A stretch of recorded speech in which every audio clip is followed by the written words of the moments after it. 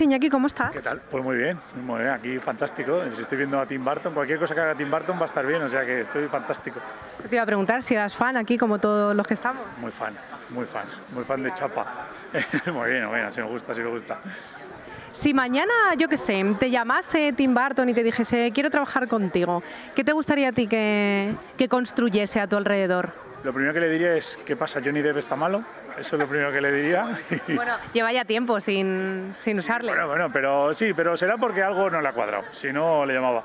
¿Y qué, qué querría que construyese? Pues eh, cualquier cosa, pero que estuviese muy, muy maquillado, muy vestido, muy peluca, muy de todo, muy, muy atrezado, decía el Tim Burton de, de Joaquín Reyes.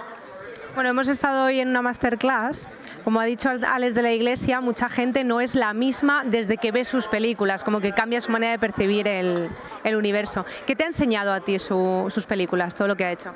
Pues a mí lo que me enseñó es que cuando una época de finales de los 80 y tal, que las películas ochenteras eran como más o menos, no digo iguales, pero parecidas, de repente hay un señor que decidió que ponía gente vestida muy rara y eh, espacios muy raros y le parecía buena idea que eso fuese comercial y lo consiguió. Y entonces eso es lo que me enseñó Tim Burton básicamente.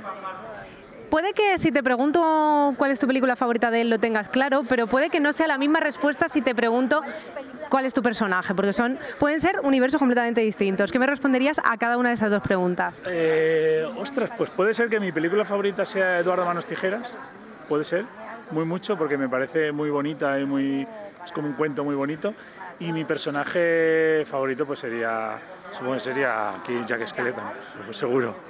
Si tuvieras que vivir en alguno de los universos que ha creado él, ¿cuál elegirías? Eh, Batman, por supuesto. Me encantaría vivir en una ciudad gótica así súper guay con un tío que se viste con leotardos por las noches. ¿Tú te ves en un programa como LOL? Eh, hombre, pues no lo sé, igual sí. Hombre, me imagino que sí, ¿no? Siendo, siendo cómico, me imagino que sí que me vería. ¿Y en qué estás trabajando ahora? ¿Dónde vamos a poder verte? Pues ahora sigo en zapeando de vez en cuando, de chico de repuesto, cuando, cuando falla alguno de los titulares, y luego en, en, Ara, en Aragón TV presentando ahí mis concursos, que ahora hago dos a la vez, ¿qué te parece? Pues fantástico, y deseando verlo todo y que te vaya súper bien. Muchísimas gracias. Muchas gracias a ti también.